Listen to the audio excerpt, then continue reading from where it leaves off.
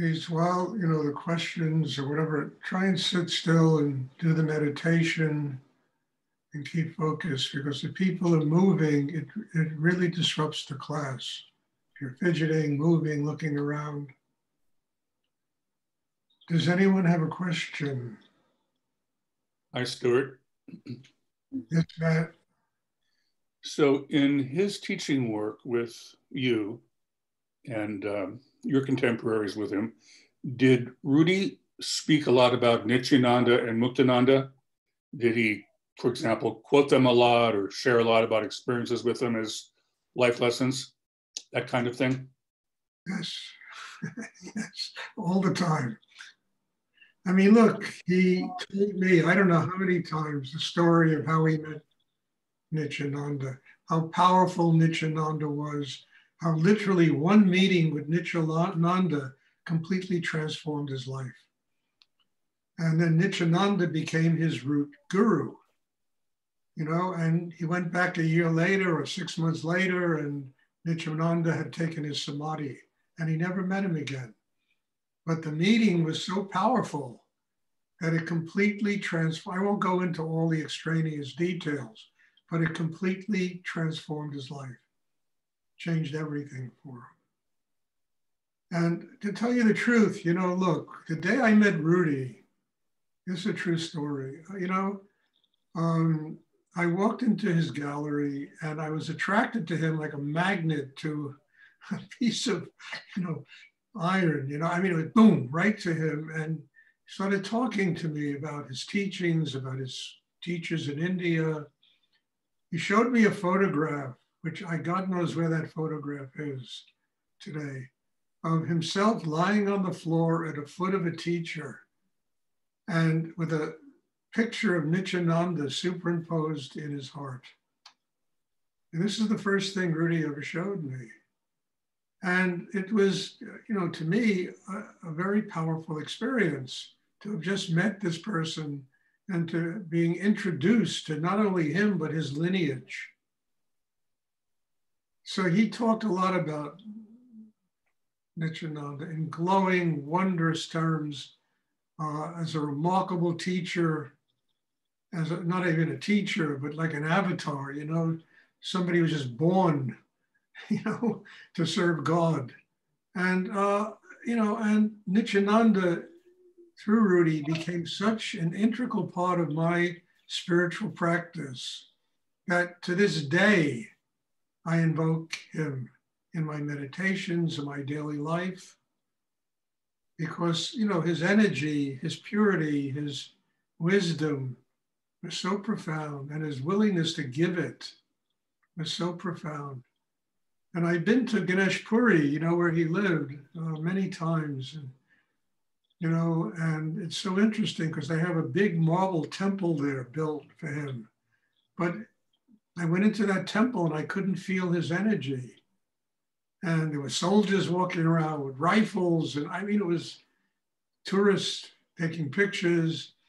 So I walked around the temple and found and discovered a place that was his house where he lived. And there was nobody there.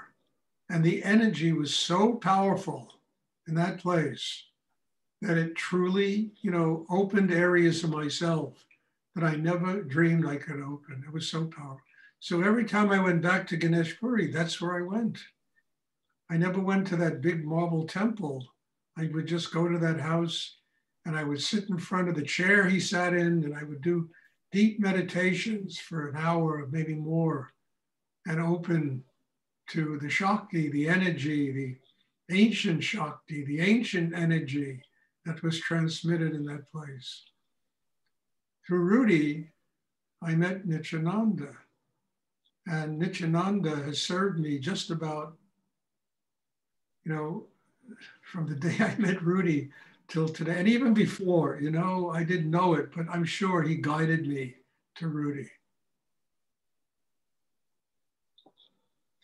As far as Muktananda, Matt, I don't want to get into it, okay? I really don't, because that's a whole other story. And I just don't really want to talk about it.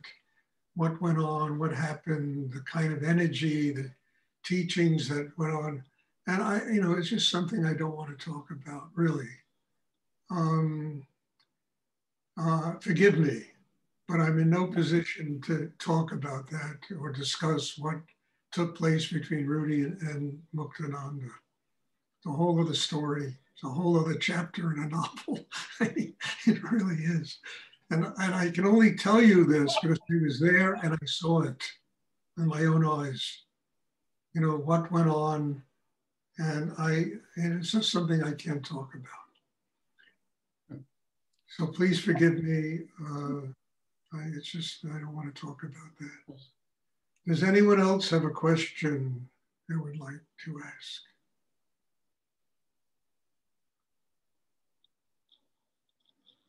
Stuart, I have a question. It's Jason.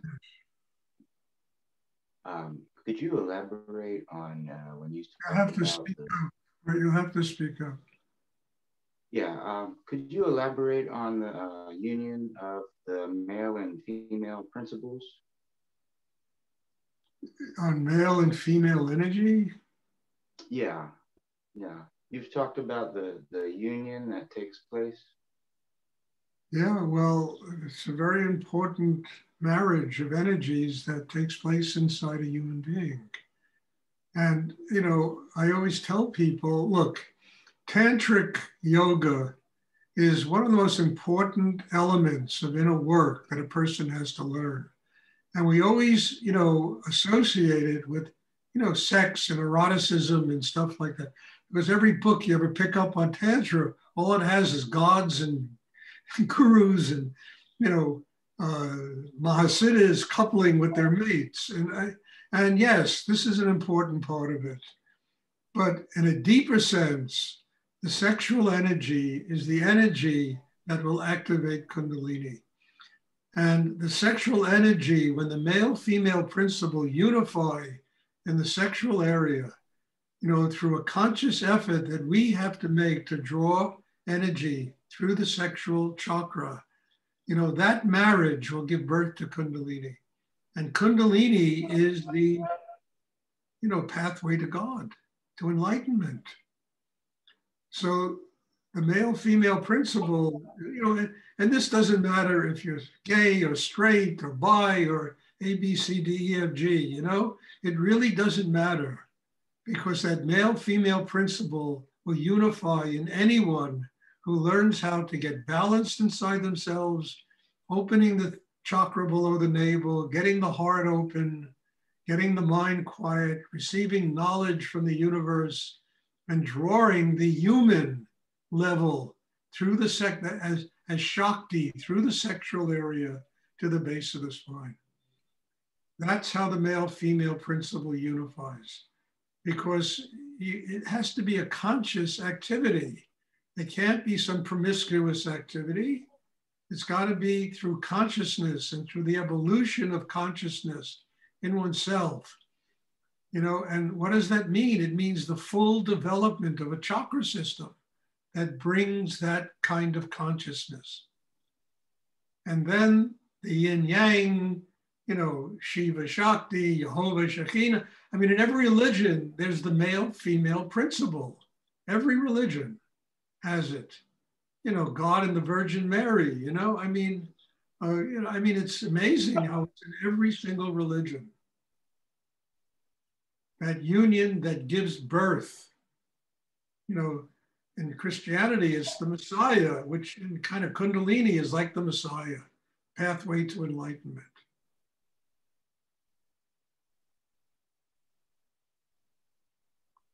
But this is an outgrowth of doing very profound inner work.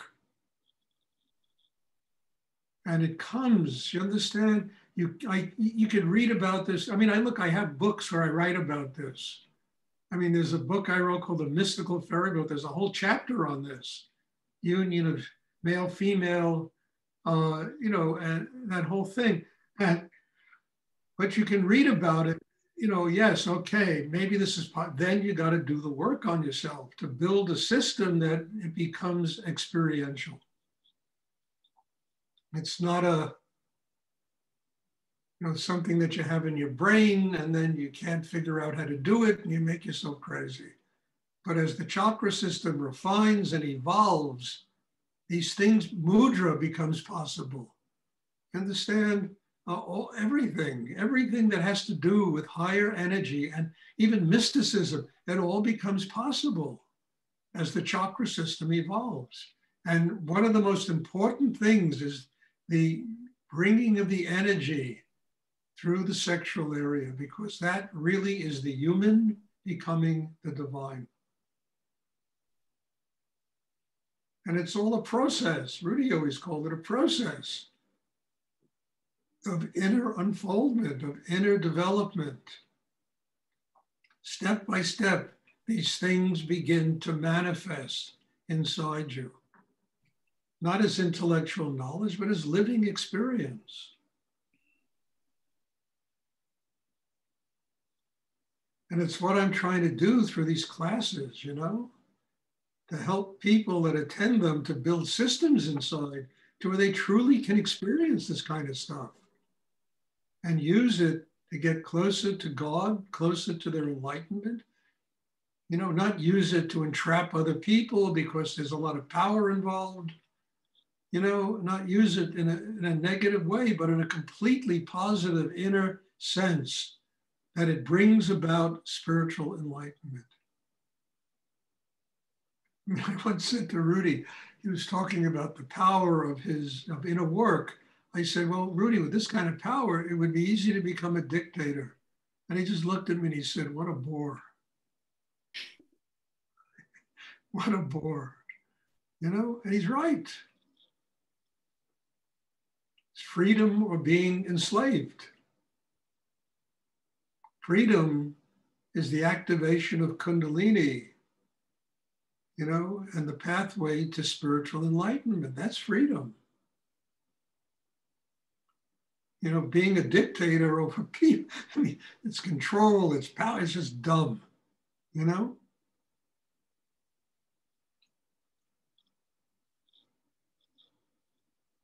I hope that's clear, you know, I mean, it's a very good subject and it's a subject that brings up a lot of profound, you know, lessons for all of us, you know.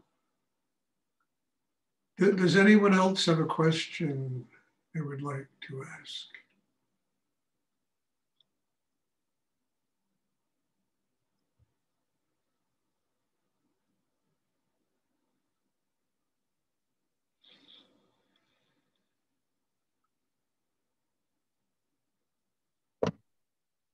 uh, Yes, giving this kind of gesture of you know, you're, you're coming like static on a radio. You're trying to can't hear me. Maybe my I hear you, but it's like static. oh, can you talk about giving and receiving? Yeah. Well, you know, also a very important subject because in life, everything is about giving and receiving. You go to the grocery store, you give money, you get food. You understand? Every interaction with every human being, we give words, we give conversation, we receive word. You know, everything is about giving and receiving. And the whole purpose of that is to learn how to give and receive unconditionally. How to give somebody something, and it comes not from the head and not from what you want to buy them with something, but it comes out of the heart. And it comes with love and it comes with compassion. It comes with happiness and it nurtures other people. And when people develop the heart chakra through inner work, I mean, their interactions with other people are that way. You know, they're capable of giving, and the gift comes. You know, you can always tell when somebody cooks a meal, whether it's a pain in the ass or they did it with love, by mm. just the taste of the food. You can always tell when somebody brings you a gift. Are they trying to buy something from you, or you know, sell you, or it really comes from their heart and it's a real gift.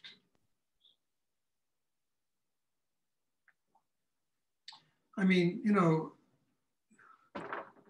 Michael here, he's in Stanford. He's been coming to my classes. He came today with a bag of food, and, and I could see it coming right out of his heart. The love that went into buying that food to give to myself so that I could have something to eat. And I had the soup, and it tasted great. So that's giving and receiving. You understand? And you've got to be have nobility of soul to give unconditionally. You have to be happy and full of love inside yourself. I, I you know, I, I, remember once I was standing in Rudy's store. I'll never forget this. I've told this story, so bear with me again.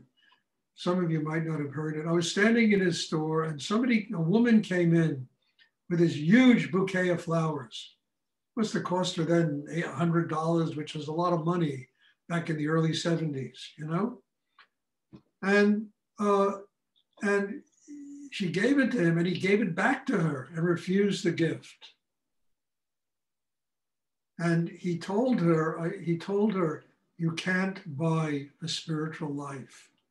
You can't buy you know, uh, something from me. And I, I won't get into exactly what it was. It had to do with a boyfriend she had, and you know, and he gave it back to her, and he told her, "Please, I don't want this gift." You know, ten minutes later, a young man walked in with a bag of M and M's. bag of M&Ms and he gave it to Rudy and it, you could feel the love in that young guy that he when he gave this to and Rudy hugged him and he kissed him and he it was unbelievable, you know. And he started giving M and M's to everybody in the room. you know, it was like joy, you know, pure joy that you know that was expressed in that gift because the gift came out of his heart. It was sheer gratitude for everything Rudy had done for his life.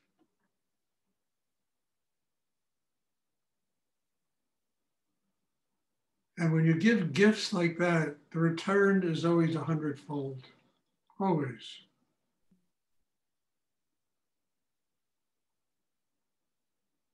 So that's giving and receiving, you know.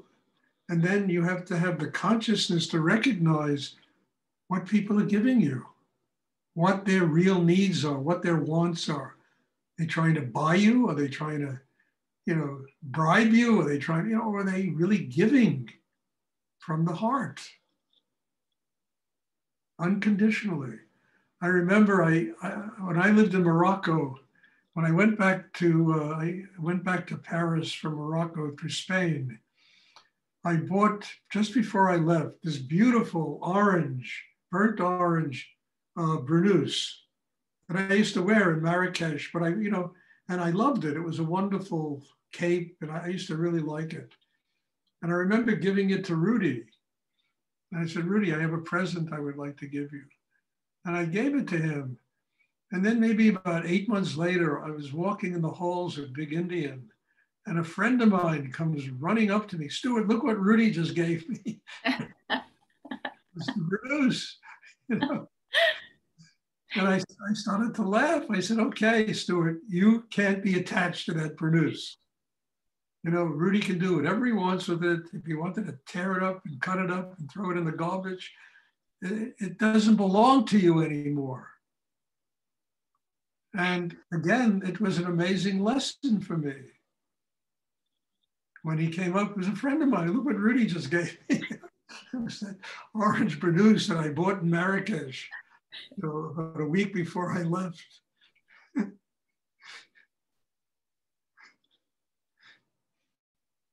so giving and receiving has to do with real surrender, letting go, not buying somebody with your gift, not possessing them because you gave them something, and not even expecting anything in return. That's up to them whether they can give, you know, or not.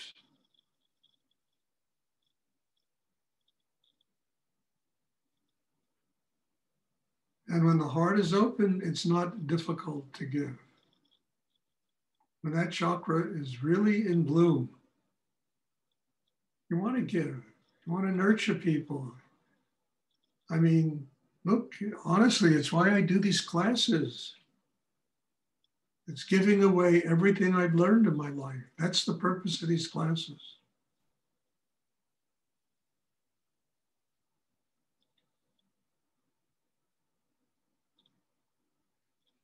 Does anyone else have a question?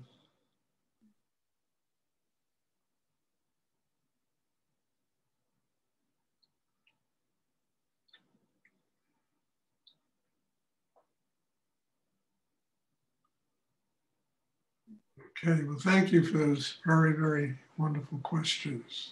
You really brought a lot up. Okay, there'll be a meditation on Sunday. I'm happy to say there are people coming here almost every day for in-person classes. Wherever you live, you're all invited to come. I mean, I probably will have no more than five people at a time. So better check with me on the days and when you want to come because I, I won't be able to fit them in my living room, you know, where I do these classes. But it's very wonderful to have people here doing in person, hands on healing work in every class. And, uh, you know, again, it's my job to give it away, to help train people so that hopefully they can build a system inside where they can do something similar not through ego and self-importance and who they are as a guru and a swami and you know all that crap that just makes everybody crazy. But unconditionally unconditionally with love.